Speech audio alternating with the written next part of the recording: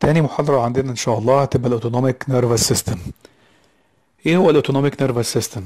زي ما إحنا عارفين إن ال nervous system هو الجهاز العصبي والجهاز العصبي كان بينقسم إلى جهاز عصبي مركزي وجهاز عصبي طرفي Central Nervous System و Peripheral Nervous System. والجهاز العصبي الطرفي كان بيتكون من مجموعة من الأعصاب. نتكلم على أعصاب حسية وأعصاب حركية sensory وموتور peripheral nerves. والأعصاب الحركية ما هياش كلها الأعصاب اللي بتحرك العضلات اللي إحنا عارفينها بس ده كمان أعصاب بتحرك عضلات لا إرادية ما بنتحكمش فيها زي العضلات الموجودة في الأمعاء أو عضلة القلب. دي كلها عضلات أو ساعات غدد ما يبقاش لينا تحكم فيها. فعشان كده بنقسم الجهاز العصبي الحركي إلى يا إما voluntary أو involuntary يعني جهاز عصبي حركي إرادي أو لا إرادي. نيجي بعد كده الجهاز العصبي الحركي اللا إرادي ده هو ده اللي إحنا بنسميه ال autonomic nervous system autonomic جاي من كلمة اوتوماتيك يعني بيتحرك بشكل تلقائي ملناش تحكم فيه زي بقية أعضاء الجسم مختلفة. الجهاز العصبي اللي هو ال autonomic nervous system ده بيتقسم بعد كده يا إما sympathetic يا إما parasympathetic يا إما جهاز عصبي سمبثاوي sympathetic nervous system أو بارا سمباثاوي اللي هو البارا سمباثيك نيرفس سيستم يبقى definition of autonomic nervous system هو ال ال ال involuntary motor nervous system responsible for the control of the smooth muscles cardiac muscles والsweat glands أو اي جلانس حتى موجوده في جسمنا هو ده definition of the autonomic nervous system زي ما قلنا ان هو يا اما اما sympathetic يا اما parasympathetic sympathetic nervous system ده اللي هو الجزء من الجهاز العصبي اللي بيدي رد فعل تلقائي وأوتوماتيك في حالات الخوف والفزع in fear and fight. يعني في حالة مثلا خناقة في حالة هروب من خطر يبتدي الجهاز العصبي السمبثاوي ده يشتغل بشكل أوتوماتيك بشكل تلقائي ويعمل مجموعة من الاكشنز أو مجموعة من الآثار في أعضاء الجسم مختلفة إحنا مبقاش لينا تحكم فيها لأن هو خارج زي ما قلنا عن إرادة تحكمنا فيه. لكن ال parasympathetic nervous system ده الجهاز العصبي المسؤول عن رد الفعل اللا إرادي برضو أو الأوتوماتيك اللي بيحصل في حالات ال rest. يعني في أغلب الوقت في أغلب حياتنا حياتنا وإحنا في حالة هدوء بنسمع محاضرة بناكل بنشرب يبتدي يشتغل على طول ال parasympathetic nervous system. فدايما ال dominant أو دايما السائد أكتر هو تأثير الجهاز العصبي ال parasympathetic على جسمنا والطارئ على الأفعال اللي موجودة عندنا هو الجهاز العصبي ال sympathetic أو السمبثاوي طيب تشريحيا بيتكون من إيه الجهاز العصبي الايه ال autonomic nervous system أو الجهاز العصبي ال sympathetic وال parasympathetic تشريحيا المفروض بيتكون من حاجة اسمها preganglionic neurons ganglia و postganglionic neurons. preganglionic neurons يعني الأعصاب اللي موجودة قبل ال ganglia. ganglia بنقصد بيها العقدة العصبية. والعقده العصبية دي بنقصد بيها منطقة التشابك اللي بتحصل ما بين خلية عصبية وخلية عصبية أخرى. فهو بيتكون من preganglionic neurons أعصاب قبل ال ganglia و ganglia و postganglionic neurons أعصاب بعد الإيه؟ ال ganglia. ده تشريحيا بيتكون من إيه؟ ال autonomic nervous system وهنتكلم عن ده إن شاء الله بالتفصيل كمان شوية. هنتكلم بقى دلوقتي عن الشكل التشريحي لل autonomic nervous system زي ما قلنا كده ال parasympathetic nervous system وال sympathetic الاثنين بيتكونوا من preganglionic neurons يعني أعصاب قبل منطقة التشابك أو قبل العقد العصبية وقبل ال ganglia و postganglionic neurons يعني أعصاب بعد الايه ال ganglia.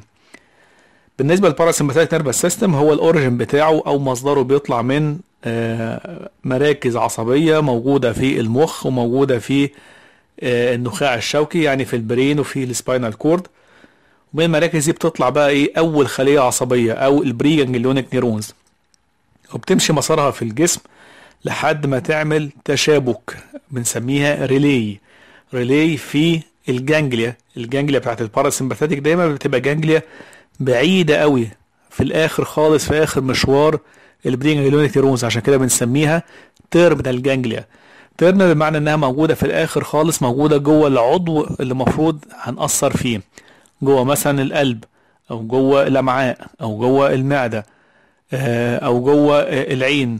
جوه العضو هيعمل فيه التأثير لل parasympathetic nervous system فعشان كده بنسميها terminal ganglia بعد كده بيظهر منها بقى إيه؟ ال postganglionic neurons اللي هي مجموعة الأعصاب اللي هي إيه؟ بعد ال ganglia. عشان في الآخر توصل الاعصاب دي لحاجه اسمها النهايات العصبية. المفروض كل عصب بيتكون من body و axon و dendritic ends نهايات عصبية. والنهايات العصبية دي بتوصل لفين؟ بتوصل بقى في داخل العضو اللي هنأثر فيه داخل القلب داخل العين داخل الأمعاء داخل المعدة. تمام؟ عشان تفرز حاجة اسمها موصلات عصبية chemical transmitter اللي هتأثر بعد كده في حاجة اسمها مستقبلات receptors اللي هي عندنا في ال parasympathetic nervous system هي ال muscarinic muscarinic receptors أو بنسميها cholinergic receptors كتجميع لمجموعة ال receptors اللي بيشتغل عليها ال parasympathetic ال cholinergic receptors نيجي بعد كده بقى للتركيب التشريحي لل sympathetic nervous system نفس الكلام هو بيطلع من مراكز عصبية بس موجودة المرة دي فين؟ في ال spinal cord بس. بيطلع بس من مراكز عصبية موجودة في النخاع الشوكي.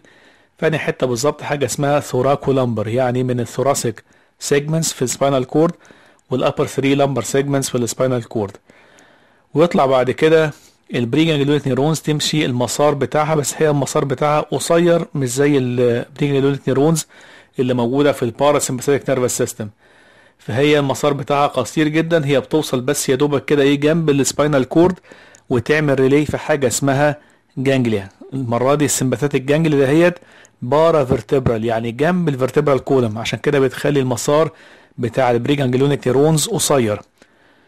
ويطلع بعد كده من ال paravertebral ganglia دهيت ال postganglionic neurons. ال postganglionic بتاعت مين؟ بتاعت ال sympathetic nervous system. دي بقى بتمشي مسار طويل قوي. بتمشي لحد ما توصل فين زي ما قلنا قبل كده؟ توصل لل effector organ. يعني العضو اللي هيعمل فيه التأثير اللي هيأثر فيه الجهاز العصبي السمبثاوي زي ما قلنا كده. ممكن يكون القلب ممكن يكون الأمعاء ممكن يكون المعدة. وفي آخر ال postganglionic neurons في طبعا ال dendritic ends اللي هي النهايات العصبية. والنهايات العصبية زي ما قلنا كده المفروض وظيفتها إنها بتفرز حاجة اسمها ال chemical transmitter أو الموصلات العصبية. مادة كيميائية المفروض بتنقل بقى الإشارة العصبية اللي جاية من أول المراكز. لحد ما توصل للمستقبلات أو ال receptors اللي هي هتبقى عندنا هنا إيه؟ هتبقى عندنا هنا ال alpha وال beta receptors أو ساعات بنسميها ال adrenergic receptors يبقى كده هناخد بالنا كده من حاجتين في الفروقات ما بين ال sympathetic وال parasympathetic nervous system. إن ال origin بتاع ال parasympathetic nervous system مختلف عن ال origin بتاع الإيه؟ ال sympathetic nervous system. ال parasympathetic طالع من ال brain وال spinal cord. لكن ال sympathetic طالع بس من ال spinal cord. إن ال parasympathetic nervous system ال preganglionic neurons بتبقى إيه؟ بتاخد مسار طويل جدا لحد ما توصل ل terminal ganglia. لكن ال sympathetic nervous system بياخد مسار قصير ال preganglionic neurons لحد ما توصل للقريبه قوي منها ل paravertebral ganglia. وناخد بالنا برضو إن بعد كده ال postganglionic neurons بتاعت ال parasympathetic في الآخر هتوصل عشان ت supply مين؟ supply cholinergic receptors اللي هي ال muscarinic receptors اللي هي بتاعت ال parasympathetic nervous system لكن ال sympathetic في ال postganglionic neurons بتوصل لحد مين؟ لحد ال adrenergic receptors هي ال alpha وال beta receptors عايزين نعرف بقى إيه هي الموصلات العصبية اللي موجودة في ال sympathetic nervous system والموصلات العصبية الموجودة في ال parasympathetic nervous system إيه ال chemical transmitters الموجودة في ال sympathetic وال chemical transmitters الموجودة في ال parasympathetic nervous system. في ال parasympathetic nervous system بيبقى فيه chemical transmitters موجودة في كل منطقة تشابك أو كل منطقة نهايات عصبية. فلو تفتكروا كده كنا قلنا ال preganglionic neurons المفروض بتتشابك في حاجة اسمها ال terminal ganglia مع ال postganglionic neurons منطقة التشابك ده هي بيبقى فيها نهايات عصبية من ال preganglionic neurons المفروض عشان تنقل الإشارة العصبية من الخليه العصبية الأولية للخليه العصبية الثانية تتنقل عن طريق موصلات عصبية اللي هي ال chemical transmitters. ال chemical transmitters الموجوده في ال ganglia سواء كان sympathetic ganglia أو parasympathetic ganglia هي هياها واحدة هي ال acetylcholine. ال choline ده هو ال chemical transmitter اللي بينقل الإشارة العصبية من ال preganglionic neurons لل postganglionic neuron سواء كان في ال sympathetic أو في ال parasympathetic nervous system. عشان يشتغل على receptors موجودة في ال postganglionic neurons اللي هي بالتحديد بنتكلم على حاجة اسمها nicotinic receptors. يبقى ده أول موصل عصبي هنتكلم عنه. بعد كده نيجي بقى لل postganglionic neurons بتاعت ال sympathetic وال parasympathetic الحقيقة ال postganglionic neurons بتاعت ال parasympathetic وبتاعت ال sympathetic كل واحدة بتفرز chemical transmitter مختلف. فال parasympathetic nervous system ال postganglionic neurons بتاعتها بتفرز acetylcholine برضه بي stimulate ال muscarinic receptors الموجودة في النهايات العصبية بتاعت ال parasympathetic nervous system.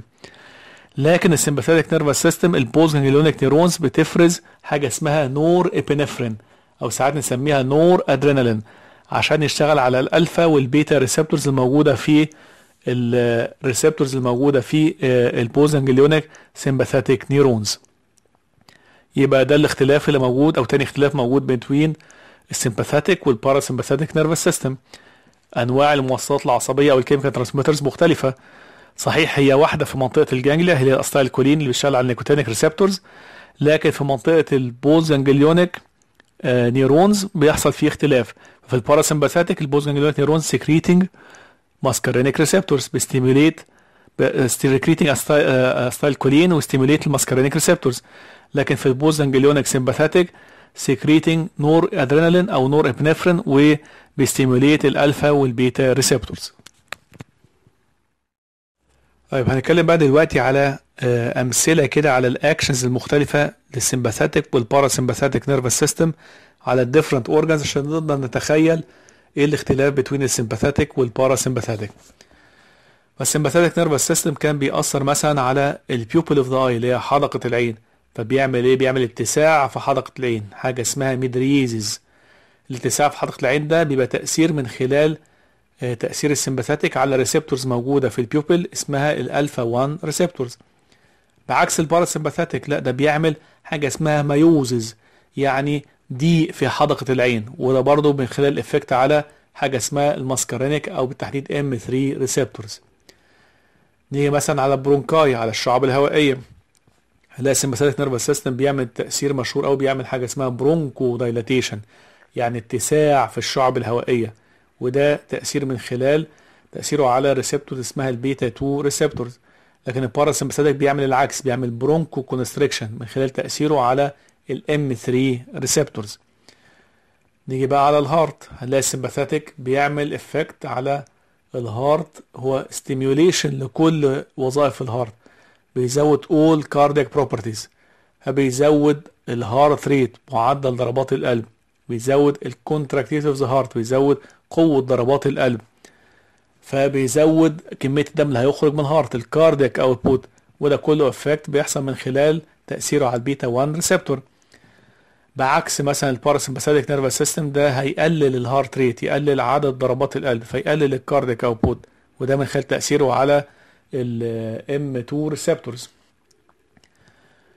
نيجي برضو بقى لل بقية تأثير ال sympathetic nervous system على ال cardiovascular system تأثيره على blood vessels فبيعمل vasoconstriction في ال blood vessels يعني بيعمل ضيق شديد في الأوعية الدموية فده بيعلي ضغط العيان يعمل hypertension وده من خلال تأثيره على الألفا 1 receptors لكن ال parasympathetic ملوش تأثير مباشر على blood vessels لكن من خلال إن هو بيقلل ال cardiac output بيقلل ال blood pressure طيب على ال GIT وال urinary bladder على ال GIT sympathetic nervous system بيعمل إيه؟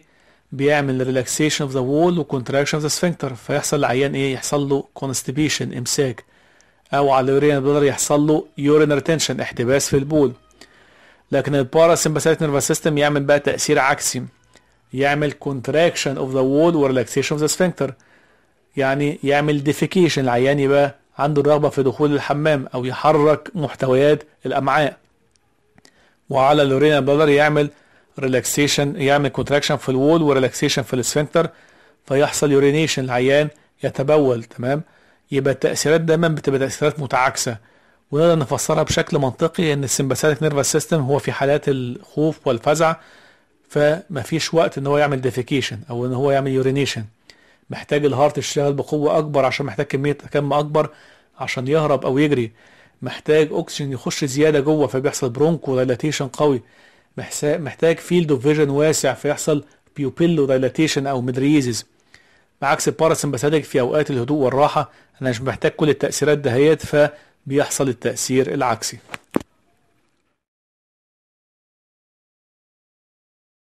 نيجي هنا بقى عندنا جدول كده بيدي برضو شوية أمثلة على توزيعات ال adrenergic receptors في بعض أجزاء من الجسم وفي بعض أعضاء من الجسم والتأثيرات بتاعتها. فمثلا الألفا 1 receptor زي ما قلنا كده موجودة في ال arterioles وال veins هتعمل vasoconstriction في ال blood vessels موجودة في ال glands بتقلل ال secretion بتاعها موجودة في ال eye في ال pupil زي ما قلنا. فبتعمل pupillo dilatation في ال intestine بتقلل ال motility بتاعتها. الالفا 2 مثلا بتبقى موجودة في centrally في CNS فبتقلل ال sympathetic flow centrally آه كمان بتبقى موجودة في البنكرياس هتقلل ال pancreatic secretion البيتا 1 receptor زي ما قلنا كده موجودة في ال heart بتزود كل ال cardiac properties آه كمان موجودة في ال kidney بتزود ال renin secretion عشان كده ممكن تسبب ارتفاع في ضغط الدم كمان بسبب increase ال renin secretion البيتا 2 receptors مثلا موجودة في ال trachea و bronchioles فتعمل bronchodilatation موجودة في بعض ال blood vessels فتعمل vasodilatation وهكذا يعني أمثلة على بعض ال adrenergic receptors في different organs. كده إحنا اتكلمنا على الفسيولوجي يعني مفروض إيه هي ال chemical transmitter اللي هتبقى secreted normally في جسمنا physiologically في جسمنا وهتعمل ال effects ديت. نتكلم بقى على ال pharmacology يعني إيه الأدوية اللي إحنا هنستخدمها تشتغل على نفس ال receptors دهيت وتعمل آثار ممكن تكون مشابهة لآثار ال sympathetic nervous system أو ال parasympathetic nervous system. وأول مجموعة من drugs هنتكلم عنها هي مجموعة ال sympathomimetic drugs sympathomimetic drugs يعني أدوية المفروض إنها تشتغل على ال adrenergic receptors عشان تعمل في الآخر effect مشابه لتأثير ال sympathetic nervous system stimulation عشان كده سموها sympathomimetic يعني mimicking ال effect of sympathetic يعني بتعمل آثار مشابهة لتأثير ال stimulation of the sympathetic nervous system أول دواء مشهور قوي هنتكلم عنه هو ال epinephrine أو الأدرينالين. ال epinephrine أو الأدرينالين كلنا عارفين إن هو بيبقى أمبولات ممكن نستخدمها في حالات ال cardiac arrest ممكن نستخدمها لو العيان كان ده عنده allergic reaction عنيف. آه شغلة الأدرينالين بالذات إنها تعمل آه contraction قوي جدا في ال peripheral blood vessels فتعلي ال blood pressure كمان بتعمل dilatation قوي قوي في ال bronchi عشان كده ساعات بيدوها تحت الجلد في الناس اللي عندهم أزمات ربوية عشان تعمل bronchodilatation تاني دواء عندنا في مجموعة ال sympathomimetic هو ال norepinephrine أو النور أدرينالين. وبيعمل برضه تأثيرات مشابهة لتأثير الأدرينالين بس له ملوش تأثير على ال bronchi. يعني بيعمل ارتفاع في ضغط الدم و vasoconstriction blood vessels لكن ما بيعملش bronchodilatation تالت دواء عندنا في مجموعة ال sympathomimetics هو ال isoproterenol isoproterenol ده بي stimulate ال beta receptors بكل انواعها. فال beta receptors لو تفتكروا كان في جزء منها موجود على ال heart اللي هو البيتا 1 receptors. ده هيعمل stimulation ل all ل all cardiac properties فممكن نستخدمه في حالات ال heart failure أو في حالات ال severe bradycardia عشان ي stimulate ال heart. آه كمان بيعمل له تأثير على ال bronchi على البيتا 2 receptors بيعمل bronchodilatation ممكن نستخدمه في حالات ال bronchial asthma. رابع دواء عندنا هو ال phenylephrine و phenylephrine ده بيشتغل بالتحديد على الألفا 1 receptors فبيعمل vasoconstriction بالذات لل blood vessels الموجوده في ال mucosa يعني في الأغشية المخاطية. فاستخدامه بقى أكتر كقطرات عشان يقلل الاحتقان اللي ممكن يكون موجود في الأنف في نزلات البرد أو الاحتقان اللي ممكن يكون موجود في العين. خامس دواء عندنا هو الإفادرين وده دواء برضو مشهور قوي في كل أدوية البرد. يعني كل الأدوية اللي بيبقى فيها مجموعة أدوية أو مواد كيماوية بنستخدمها في علاج نزلات البرد زي الفلورست والكونتافلو والحاجات دي كلها. دايما هتلاقوا فيها إفادرين أو حاجات مشابهة للافادرين بتشتغل برضو ك decongestant يقلل الاحتقان اللي موجود وساعات بنستخدمها في رفع ضغط العيان بالذات وفي إحنا بنشتغل في العمليات الجراحية. نيجي بعد كده بقى لاستخدامات مجموعة ال sympathomimetic drugs الحقيقة مجموعة ال sympathomimetic drugs استخداماتها زي ما إحنا اتكلمنا بتبقى تأثير على ال heart وعلى blood vessels فممكن نستخدمها في حالات انخفاض ضغط الدم في العيانين اللي عندهم hypotension بسبب مثلا نزيف أو سبب آه، مشاكل في القلب ممكن نديهم الأدوية دهيت ال sympathomimetic drugs عشان نرفع ضغط الدم عند العيان to increase blood pressure زي في حالات ال shock آه، زي دواء مشهور قوي اسمه الدوبامين بيتعلق العيانين اللي عندهم آه، shock الدوبامين ده من ضمن ال sympathomimetics برضه ممكن نستخدمه في الحالات اللي فيها مثلا نزيف زي نزيف مثلا من الأنف. اخد الأدرينالين وأحطه على شاشة وأحطه كده packs على الأنف عشان أقلل النزيف. أو بعد خلع سنه أو ضرسه ففي نزيف مكان خلع السنة أو الضرس يبقى ساعتها أحط برضو شاشة فيها أدرينالين وأعمل بيها pack على المكان اللي فيه النزيف. كمان بستخدمه مع البنج الموضعي. أحطه مع البنج الموضعي وده مشهور أكتر مع أطباء الأسنان بيستخدموا دايما ال epinephrine أو ساعات ال norepinephrine مع أمبولات البنج الموضعي عشان يقللوا النزيف في الأماكن اللي بيشتغلوا فيها فيبقى ال surgical field واضح بالنسبة لهم. وكمان عشان prolong ال action of the local anesthetic يزود ويطول مفعول عمل البنج الموضعي. كمان ساعات ممكن نستخدمه ك decongestant زي ما اتكلمنا قبل كده. ال phenylephrine أو الإفيدرين بيستخدموه ك decongestant دواء يقلل الاحتقان. سواء كان في الأغشية المخاطية اللي موجودة في العين أو موجودة في الأنف مع نزلات البرد. نتكلم بقى على مجموعة تانية من مجموعة الأدوية اللي شغالة في ال autonomic nervous system اتكلمنا عن ال sympathomimetics هنتكلم دلوقتي على حاجة اسمها ال sympatholytics sympatholytics يعني باختصار كده أدوية هتمنع عمل ال sympathetic nervous system هتوقف عمل ال sympathetic nervous system هتعمل either block or inhibition يعني هتم هتقفل ال receptors اللي شغال عليها ال sympathetic nervous system فتمنع عمله أو to inhibit يعني تمنع أو تقلل من تأثيره أو تقلل من إفراز ال chemical transmitter عند ال postganglionic sympathetic neurons حسب آلية عمل الأدوية ديت هنقسمها لأربع مجموعات من الأدوية. أول مجموعة من الأدوية اللي هي مجموعة ال adrenergic receptor blocking drugs يعني الأدوية هتقفل ال adrenergic receptors هتقفل ال alpha receptor بالذات بنتكلم عنها أو هتقفل ال beta receptors. هتقفل ال alpha receptor زي ادوية آآ آآ اسمها Minipress أو دواء اسمه ergotamine. أو هتقفل ال beta receptors دي مجموعة مشهورة جدا من الأدوية بيسموها ال beta blockers زي ال propranolol وال atenolol. معظمها أدوية بنستخدمها في علاج الضغط. الأدوية اللي بتقفل ال alpha receptor زي مثلا دواء اسمه prazosin زي دواء اسمه Minipress اللي هو الاسم التجاري بتاعه. دي بيستخدموها ممكن في علاج الضغط العالي ساعات بيستخدموها في في علاج ال heart failure فشل القلب. ساعات بيستخدموها كمان في علاج تضخم البروستاتا عند الكبار في السن. لأنها زي ما قلنا كده بتقفل ال alpha receptors يبقى ليها دور في عملية احتباس البول اللي بتحصل مع الناس اللي عندهم تضخم في البروستاتا. أدوية بقى اللي بتقفل ال beta receptors أو ال beta blockers دي أدوية مشهورة جدا بستخدمها غالبا في الأمراض المتعلقة بال cardiovascular system يعني الأمراض المتعلقه بالجهاز الجهاز الدوري يعني امراض متعلقة بالقلب أو متعلقة بالشرايين. بنستخدمها في علاج ال heart failure مثلا في علاج فشل القلب. بنستخدمها كمان في علاج ال angina في علاج الذبحة الصدرية. بنستخدمها في علاج الضغط وده أشهر استخدام للمجموعة دي من الأدوية.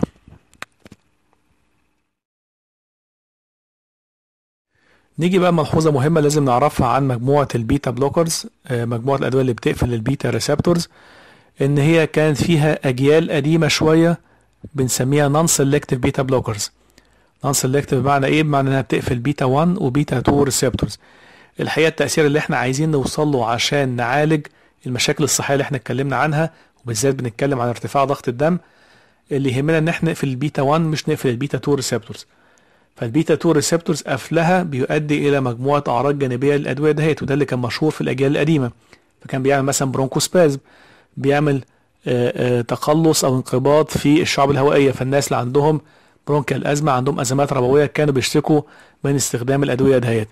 لكن الأجيال الجديدة اللي بعد كده بقت selective بقت شغالة على البيتا 1 receptor فبتعمل ال effect اللي إحنا عايزينه بس من غير ال side effect اللي كان ال bronchospasm اللي كان بيضايق الناس اللي عندهم bronchial asthma. تاني مجموعة من مجموعة ال sympatholytic drugs ال adrenergic neuron blockers زي ال guanethidine والأدوية ديت الحقيقة مش بتقفل الفا أو beta receptor لا هي بتمنع ال release of the chemical transmitter من ال nerve endings تمنع آه، إفراز الموصلات العصبية اللي هي طبعا بنتكلم على النور أدرينالين من النهايات العصبية بتاعت سبوسنجلونيك سمباثيك نيرفس سيستم فبرضه بتحد من عمل ال sympathetic nervous system لكن ما بتقفلش receptors ثالث مجموعة هي مجموعة ال ganglion blocker drugs ال ganglion blocking drugs يعني بتقفل العقد العصبية. لو تفتكروا كده كنا قلنا إن ال sympathetic nervous system بيتكون من preganglionic neurons و ganglia و postganglionic neurons فكل اللي إحنا اتكلمنا عنها يا إما بتقفل ال alpha وال beta receptors عند ال postganglionic neurons يا إما بتقلل ال release of the chemical transmitters عند ال postganglionic sympathetic neurons لكن الحقيقة المجموعة اللي إحنا بنتكلم عنها دي المجموعة الثالثه دي هتقفل ال ganglia.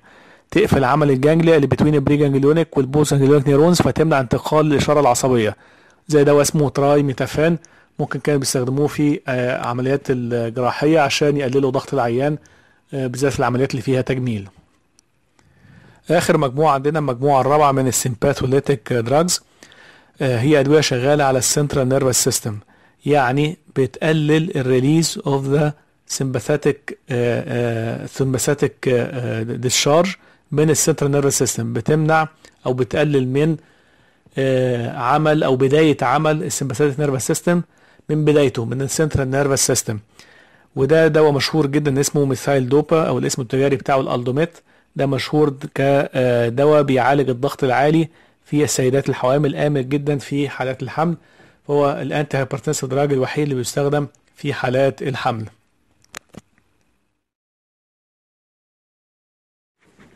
ال parasympathomimetic drugs ودي هي مجموعة ال drugs اللي برضه هتشتغل على stimulation of the parasympathetic أو cholinergic receptors. يعني هتعمل تأثيرات مشابهة لتأثير ال stimulation بتاع ال parasympathetic nervous system. الأدوية دهيت بتشتغل بطريقة من اتنين أو بآلية من اتنين.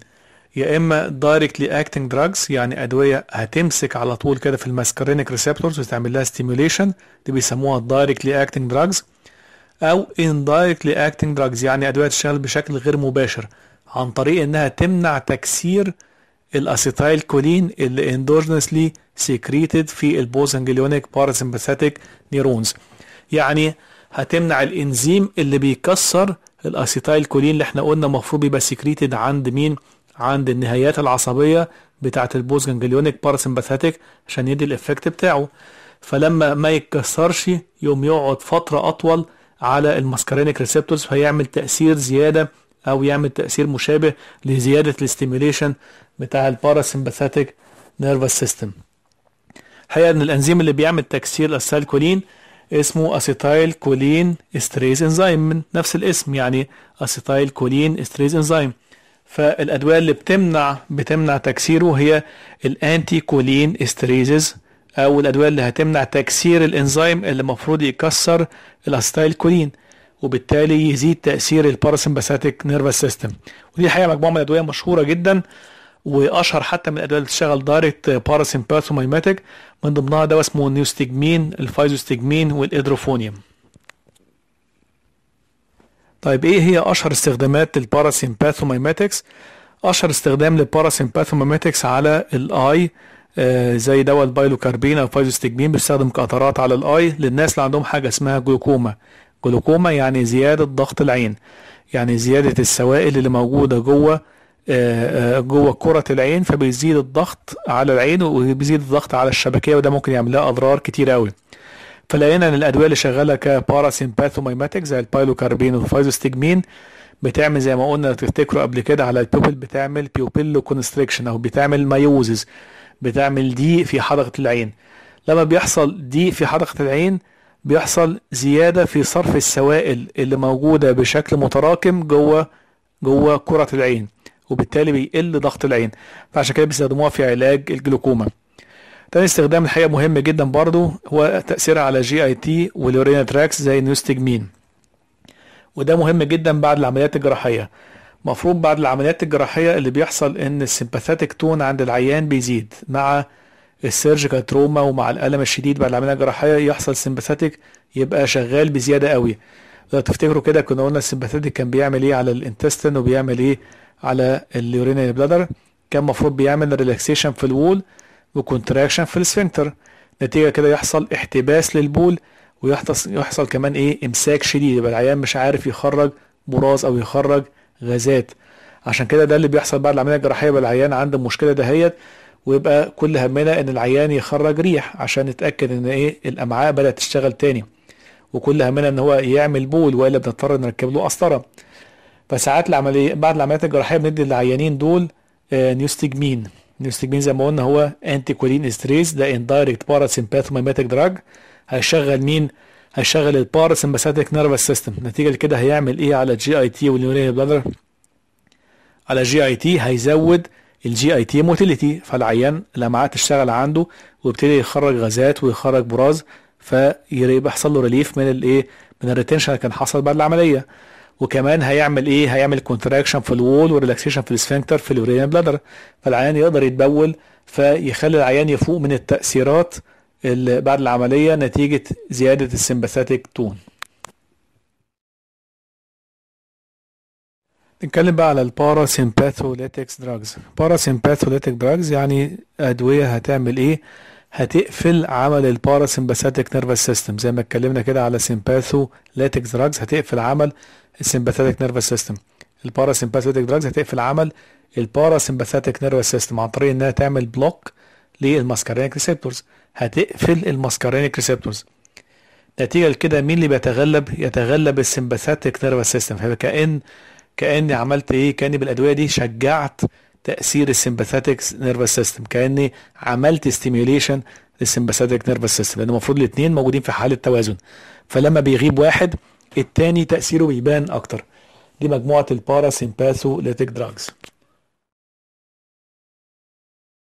طيب إيه هي استخدامات الأدوية دهيت الحقيقة ليها استخدامات كتيرة جدا اول استخدام ليها على ال eye بتتحط على ال eye في شكل eye drops عشان تعمل حاجة اسمها pupillo dilatation اتساع في حدقة العين. وده مهم جدا في عمليات إيه؟ في عمليات فحص قاع العين. عشان افحص قاع العين لازم يحصل اتساع شديد للحدقة عشان أقدر اوصل لقاع العين وافحص الشبكية كويس قوي. آه، تاني استخدام ليها بنستخدمها في آه، فيما يخص ال gastrointestinal disorders في مشاكل ال GIT مشاكل ال GIT ممكن استخدمها في علاج ال peptic ulcer لأنها بتقلل من افراز الحموضة بتاعة المعدة. أقدر استخدمها في علاج قرح المعدة. كمان أقدر استخدمها في علاج المغص وده استخدام مشهور قوي لواحد مشهور جدا من ال parasympatholytic drugs اللي هو الأتروبين. بنستخدمه في علاج كل أنواع المغص. لأن زي ما قلنا ال parasympatholytics هتقلل هتقلل ال parasympathetic system stimulation وتزود ال sympathetic فيقل إيه حركة الامعاء ويحصل relief of the colic بستخدمها كمان في pre-anesthetic medication في التحضير قبل إيه ال anesthesia قبل ما ادي العيان البنج الكلي. بحضره بأدوية parasympatholytic بالتحديد أكتر زي ما قلنا كده الأتروبين أو ممكن نستخدم كمان السكوبولامين آه ليه؟ لأن هو بيقلل ال secretions. اللي موجودة في ال bronchi ودي بتعمل مشاكل جدا للعيان في حالة البنج الكلي.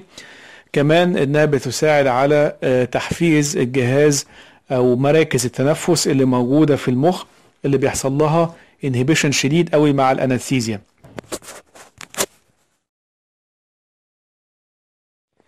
كمان ممكن أستخدم المجموعة بتاعت ال parasympatholytics والحقيقة بستخدم أنواع specific أكتر ومشتقات بتكون مركزة أكتر على ال urinal bladder في حالات تهيج المثانة آه، بعض الناس اللي عندهم تبول لا إرادي أو نتيجة تهيج في المثانة. ممكن أديهم الأدوية دهيت بتقلل بتقلل من أعراض تهيج المثانة وساعتها بستخدم آه، مركبات بتكون آه، أكثر تركيزا على المثانة من مجموعة الأتروبين. آه، زي ما قلنا بنستخدمها برضو في علاج تقلصات الأمعاء بالذات الأتروبين ده مشهور قوي في علاج المغص الكلوي والمغص المراري. آه، بقى عندنا ال contraindications إيه موانع استخدام إيه الأدوية دهيت موانع استخدام ال parasympatholytic drugs ممنوع استخدامها في العيانين اللي عندهم جلوكوما. زي ما قلنا هي بتعمل إيه؟ بتعمل pupillo dilatation بتعمل اتساع شديد في حدقة العين. نتيجة الاتساع الشديد في حدقة العين ده بيقل تصريف السوائل اللي موجودة جوه كرة العين. ونتيجة كده بيزيد ضغط ال- السوائل دي في داخل العين والعيان يشتكي من أعراض زيادة قوي من إيه؟ الجلوكوما.